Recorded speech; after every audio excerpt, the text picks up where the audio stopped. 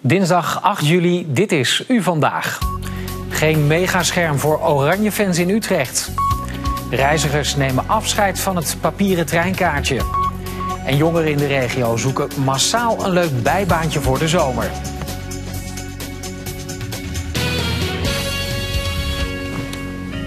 Goedenavond. Goedenavond. Kunnen voetballiefhebbers in Utrecht morgen nou wel of niet op een groot scherm naar de halve finale tegen Argentinië kijken? Verslaggever Mark van der Wel. Ja, tot vier uur vanmiddag konden ondernemers, horecaondernemers, een vergunning aanvragen bij de gemeente. Maar of er ondernemers zijn geweest die dat hebben gedaan, dat vertel ik jullie zo meteen. Tot zo, Mark. Dan gaan wij nu eerst verder met ander nieuws van vandaag. Zwemleraar Jacob V. uit Soest blijft langer vastzitten. De 28-jarige man wordt verdacht van jarenlange ontucht met kleine kinderen in recreatiegebied Spaanwouden. Hij zit sinds maart vast en ontkent de beschuldigingen. Jacob V. blijft langer in het cel omdat er een persoonlijkheidsonderzoek naar hem wordt gedaan. Een grote brand op een bedrijventerrein in Veenendaal is aangestoken. Vorige week brak op twee verschillende plekken brand uit bij een verpakkingsbedrijf en een vleesgroothandel. De politie bevestigt nu dat er sprake is van opzet. Er zijn nog geen verdachten aangehouden. De schade loopt in de miljoenen. Een omstreden vakantiehuisje in Kokkengen moet toch worden afgebroken. Eigenaresse Gabrielle van der Linden probeerde met 3000 handtekeningen de sloop tegen te houden. Het huisje is zonder vergunning gebouwd tegen de dijk en dat kan gevaarlijk zijn voor de stevigheid. De eigenaresse mag nog tot oktober in het huisje blijven. De verfilming van de slag om de Grebbeberg bij Renen begint bijna een jaar later dan gepland. De opnames over de gevechten in mei 1940 zouden dit jaar beginnen, maar hebben vertraging opgelopen. Onder andere de gemeente Renen en Ouwehands Dierenpark werken mee aan de film, die over twee jaar in première gaat. Heel Nederland praat over de wedstrijd van morgen tegen Argentinië. Gaat Robben scoren? En wat is de slimme wissel van Van Gaal? En worden het weer strafschoppen? Maar wat ook een belangrijke vraag is, waar gaan we kijken? Zeker weten. Het lijkt er namelijk sterk op dat we in Utrecht niet buiten op een groot scherm kunnen kijken. Tot vier uur vanmiddag konden ondernemers op het stadhuis een vergunning aanvragen voor zo'n scherm. Daar is ook verslaggever Mark van der Wel. Ja, ik ben benieuwd. Wat is de uitkomst? Nou ja, ik moet jullie teleurstellen. En ik denk alle voetbalfans die dat gezellig met z'n allen op een uh, wellicht regenachtig plein hadden willen bekijken. Er zijn geen aanvragen binnengekomen van ondernemers die het zien zitten om zoiets op te tuigen in, uh, in Utrecht. Maar waarom is het zo moeilijk? Want het lijkt toch juist hartstikke leuk om met z'n allen op een plein te kijken. Ja, zeker. Voor de mensen is dat natuurlijk uh, hartstikke gezellig. En uh, kijk bijvoorbeeld naar Amsterdam of uh, Arnhem, waar de pleinen volstromen. Breda, hetzelfde verhaal. Alleen het probleem in Utrecht is dat de kosten voor zo'n scherm, voor de plaskruizen die neergezet moeten worden voor de biereilanden allemaal voor rekening komen van de ondernemer. De gemeente zegt we willen meewerken aan een vergunning, die willen we desnoods versneld geven. Alleen het probleem is dat de kosten dan echt allemaal voor die ondernemer zijn. Nou ja, ga maar na, dat uh, kom je met beveiligers, met uh, nou ja, al die dingen die ik net noemde. Kost een hele hoop geld. Toch is er een ondernemer geweest die het vandaag toch heeft geprobeerd om in ieder geval te berekenen wat het zou gaan kosten. Maar ook hij kwam tot de slotsom dat het te duur was. Kunnen we even naar gaan kijken om en bij de 5.500 euro. Daarin hebben we nog niet meegenomen de, de, biertechniek, dus de huur van tapeilanden, tapwagens, uh, dat soort zaken. Um, dus ja, dan, dan, wordt het wel, dan wordt het een heel duur grapje. Duur is zo'n megascherm zeker. Als Nederland zondag in de finale staat, hadden Marco en andere ondernemers graag een groot scherm gehuurd. Maar de kosten zijn zo hoog dat het voor de kroegbazen echt niet te doen is. We zijn natuurlijk wel heel erg enthousiast dat de gemeente toestemming heeft gegeven om scherm te plaatsen. Maar er is, uh, verder is er geen uh, hulp vanuit de gemeente, geen financiële hulp vanuit de gemeente in ieder geval. Dus je draait zelf op voor alle kosten. Veel kroegen kunnen dat niet opbrengen. Zelf zouden ze namelijk enorm verlies draaien op zo'n avond. Utrecht zou volgens Marco een voorbeeld moeten nemen aan andere gemeentes waar de beveiliging door de stad wordt betaald. In elk gehucht, dorp, stad uh, staat er een scherm buiten. En op de een of andere manier lukt het in Utrecht maar steeds niet om dat van elkaar te krijgen. Hier op het Domplein wordt zondag dus niet gefeest. Want naast de kosten loopt de kroeg nog meer risico's. En dan is het voor deze kroegbaas in ieder geval niet de moeite waard. Stel je voor dat het dit weer is als vandaag. Het regent al de hele dag. Nou ja, dan ga je natuurlijk al. Dan kijkt iedereen binnen en niemand buiten. Dus al die dingen bij elkaar opgeteld maakt het dat het voor ons denk ik niet interessant is. En wij het gewoon lekker in de zaak zelf doen. Ja, geen groot scherm dus in Utrecht. Maar Mark, zijn er dan nog andere plekken in de provincie waar we wel buiten op een scherm kunnen kijken? Nou ja, om, om in Utrecht te beginnen, de finale is natuurlijk pas zondag. Hè? Dus je hebt nog een paar dagen. En misschien dat de gemeente zegt van nou goed, uh, we willen ook een mooi gebaar maken naar de burgers toe. We betalen die, uh, die beveiliging. Inderdaad, in andere plekken kan het wel. En ik had vandaag een legertje uh, vormgevers erop gezet om een mooi kaartje te maken. Maar ze waren vrij snel klaar. Kunnen we ook even naar kijken. Je moet morgen goed zoeken naar een megascherm in de provincie Utrecht. We hebben alle 26 gemeenten gesproken. En de schermscore is niet om vrolijk van te worden. Nederland-Argentinië is in ieder geval op een megascherm te zien in Oudewater en Amersfoort. En daar blijft het bij. Als Nederland morgen een goede dag heeft en de Argentijnen op de knietjes krijgt, kunt u zondagavond in Woerden terecht. De finale wordt daar gezamenlijk op het Kerkplein gekeken. Ja, het zijn dus eigenlijk maar, uh, maar, maar, drie plekken. Je kunt natuurlijk ook gewoon thuis kijken. Maar dan zit je misschien met een ander probleem. Want Mark, die wedstrijd die begint pas om tien uur. Ja, als je kinderen hebt, wat doe je dan? Mogen die wel of niet kijken? Ja, dat is denk ik een, uh, een dilemma waar heel veel ouders mee, uh, mee zitten. Hè. Ga je ze op laten blijven of uh, ja, laat je ze toch misschien de volgende dag de samenvatting kijken? Er zijn in ieder geval een hoop scholen in onze regio die er wel rekening mee houden dat die wedstrijd morgenavond wel eens een latertje zou kunnen worden.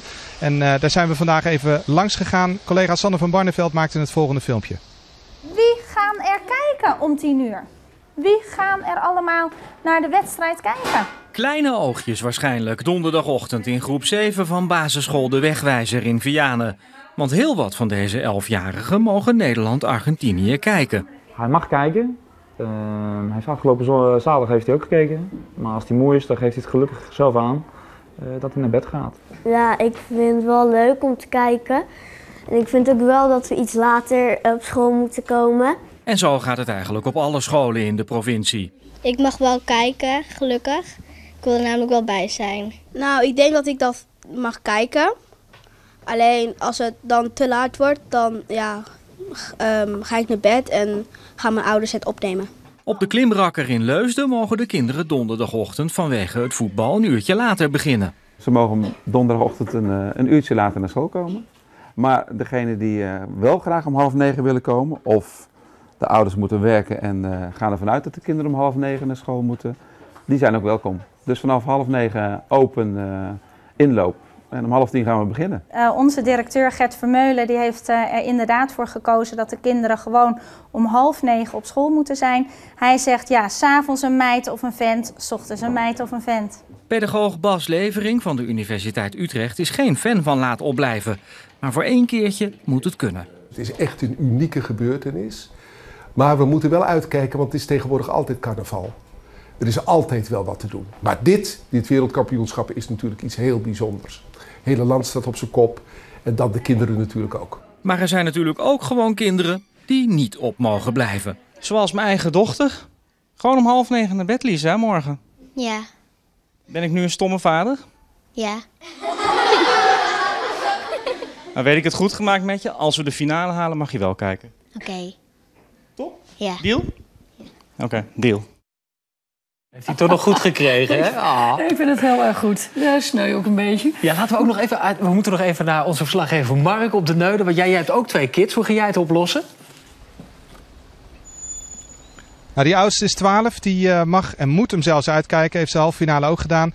De jongste is 4, dus die ligt dan al lang en breed te slapen. Maar omdat het zo'n historische avond gaat worden zondag, want we gaan die finale natuurlijk gewoon halen, dan neem ik hem op en gaan we dat op een woensdagmiddag uh, terugkijken in plaats van dat irritante SpongeBob SquarePants altijd gegeven. Ja. Dus dat komt helemaal goed. Ik zie hier al dat drie mensen blij zijn. Mark, okay. dankjewel.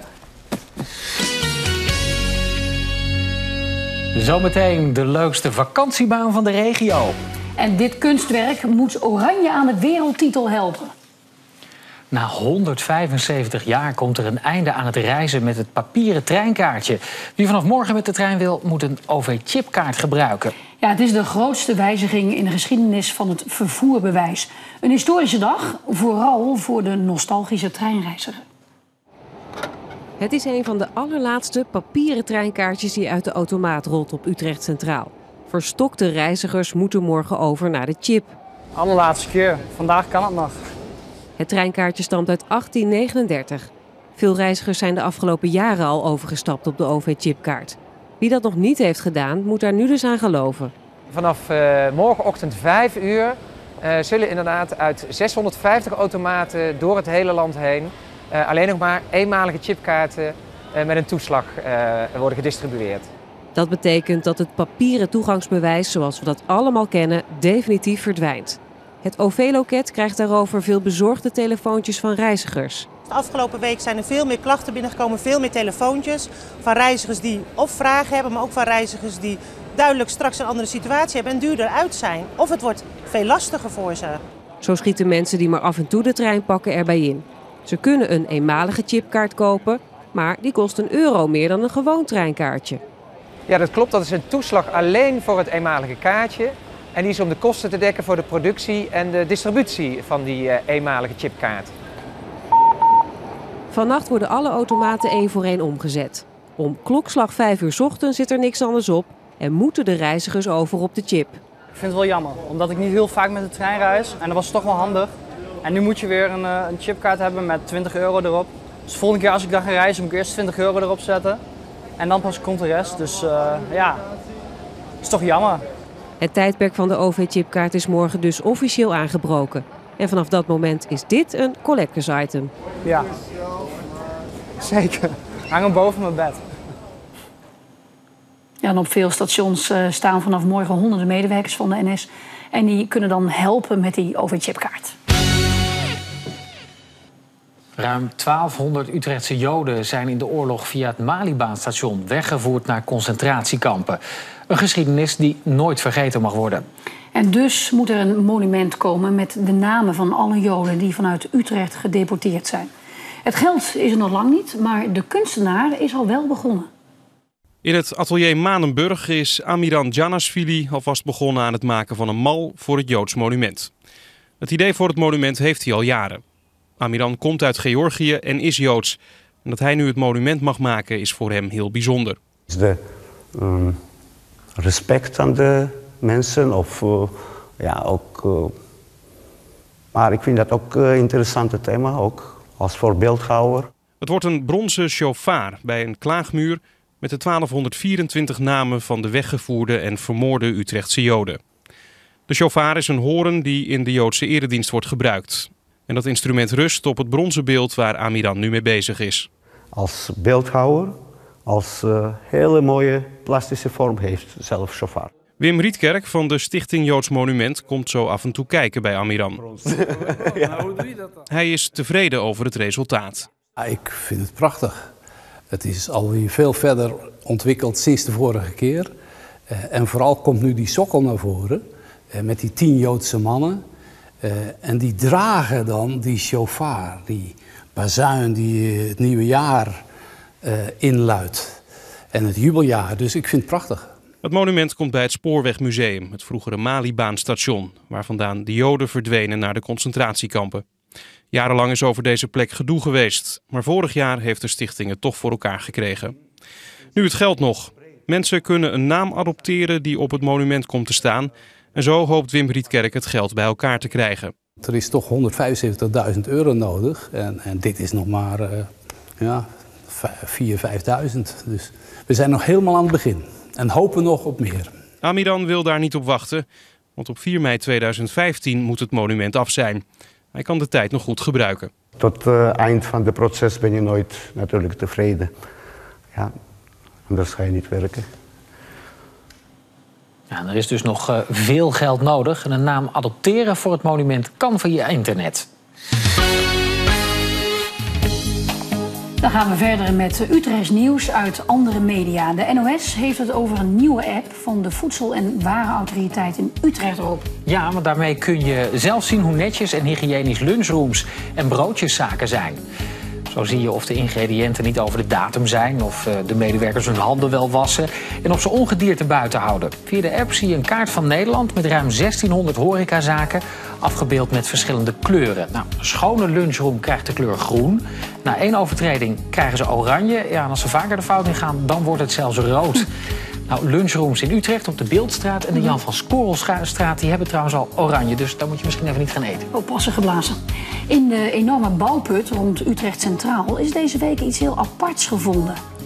Deze schildpad dook ineens op. Johan Perk zag hem toen hij aan het wandelen was door het stationgebied. Hij belde meteen de dierenambulance, maar die wilde niet helpen. De schildpad zag er overigens ook wel gezond uit. Nou, en inmiddels heeft de gemeente wel beloofd een eh, bioloog in te schakelen om het beestje met een schepnet te vangen. Lijkt me nog een eh, hele klus. Sportverslaggever Sierte Vos uit Wijk bij Duurstede neemt het in VI Oranje op voor Louis van Gaal. Zowel als coach en als mens is het een fantastisch mens. En je zou je eigenlijk moeten schamen als je zulke dingen zegt op televisie over Van Gaal. En je zou eigenlijk gewoon je excuses moeten aanbieden. Nou, ik ben benieuwd of hij het gaat doen. Hij doelt daarmee op Johan Derksen, die steeds felle kritiek heeft op de bondscoach. Dat terwijl Oranje het boven verwachting goed doet op het WK. En eh, ja, daar kan zelfs Derksen niets tegen inbrengen. Tijdens dit WK heeft hij keurig gedaan. Maar als we wereldkampioen worden en hij heeft weer een van zijn bekende optredens op een marktplein, ja, dat vind ik walgelijk. En overigens heeft Derksen de laatste tijd eh, volgens mij ruzie met zo'n beetje iedereen. Want zo noemt hij, ja, Van der Gijp noemt hij in een column nu een goedkope kermisattractie. en eh, is hij ook de oorzaak van de verziekte sfeer bij VE Oranje. Als straks de zomervakantie is, eh, begint, dan zoeken veel jongeren een leuk bijbaantje.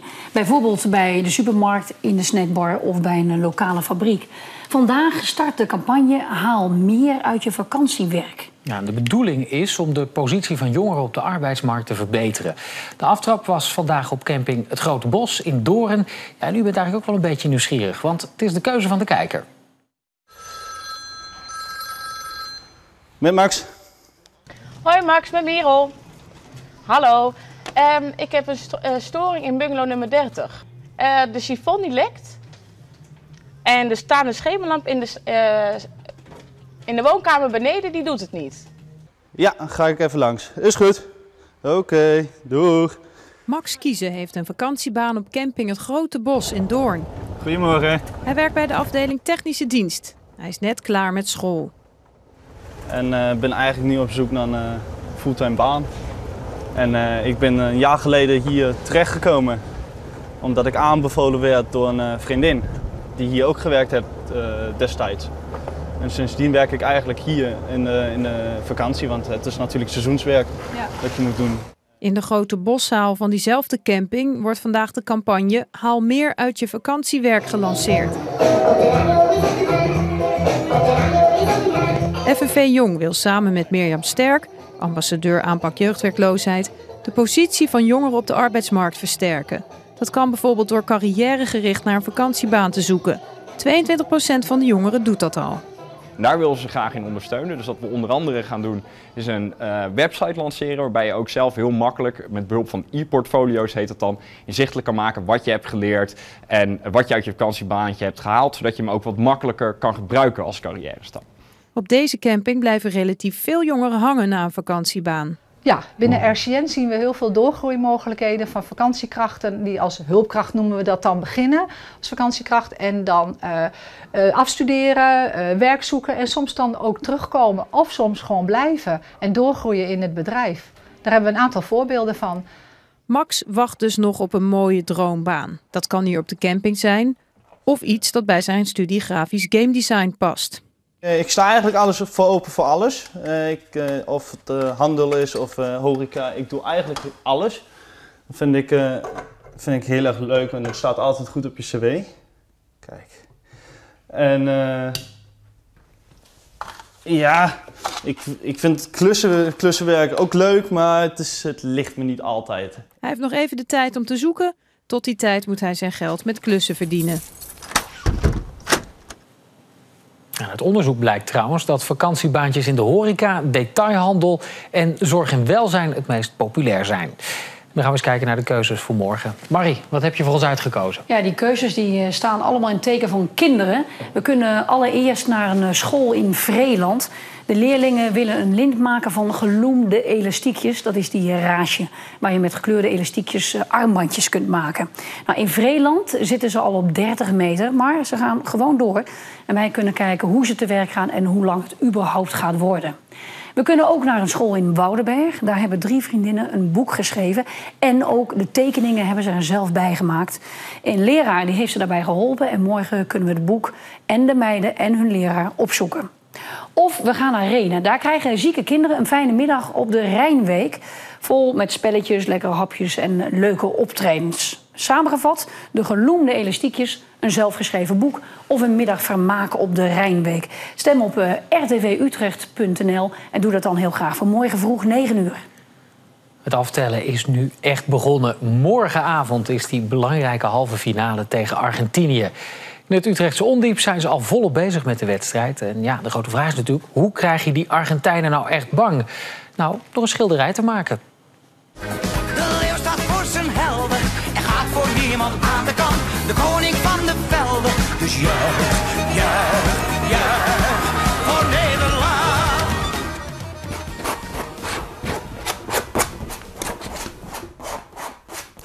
Een schilderij maken om de Argentijnen mee te imponeren. Dat klusje is juwelier en kunstschilder Tom Makkink op het lijf geschreven. Het schilderij moet een soort uitspatting worden. Een uitspatting van, van, van het Nederlands elftal. Het Nederlands elftal in één keer vanavond hup, uh, boven alle verwachtingen uit, uh, of tenminste morgenavond, boven alle verwachtingen uit uh, presteert en doet. Ton schildert al bijna tien jaar. Aangestoken door een goede vriend neemt hij de kwast ter hand. Hij begint met boerderijtjes en landschapsaquarellen. Maar gaandeweg komt hij erachter dat abstract werk hem beter ligt. Dan, uh, dan kijken de mensen en zeggen, goh, wat is dat mooi, wat, wat, wat, wat, wat, wat zitten er mooie kleuren en alles zitten erin. En we hebben natuurlijk al, uh, al 800 jaar hebben we al boerderijtjes en, uh, en zeilboten gezien. Dus ik denk dat dat, dat, dat hetgeen is een beetje wat, ja, wat me inspireert eigenlijk. Ton werkt op intuïtie. Als hij aan het schilderen is, dan komt de creativiteit vanzelf. Dus het is ook heel vaak dat ik een schilderij aan het maken ben. Dat ik denk van, goh, daar ga ik rondingen in maken. En aan het eind van de rit zitten er driehoeken in.